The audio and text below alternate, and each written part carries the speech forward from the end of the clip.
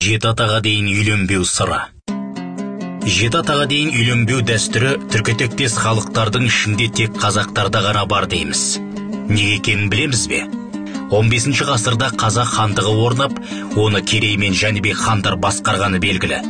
Бірде жәнібек ханның ақылшысы кеңесшісі жиренше шешен қатты ауырып төсек тартып жатып қалыпты.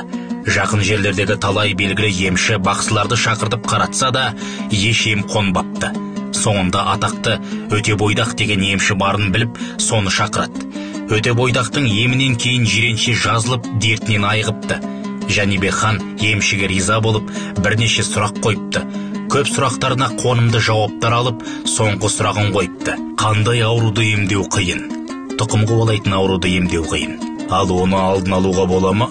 Болады. Жеті атаға дейін туыс адамдар қыз алыспау керек жеті қазақ үшін қасиетті сан өтебойдағы емшінің айтқанын жәнібек хан жадына тоқып халыққа жеті атаға дейін үйленуге тыйым салыпты.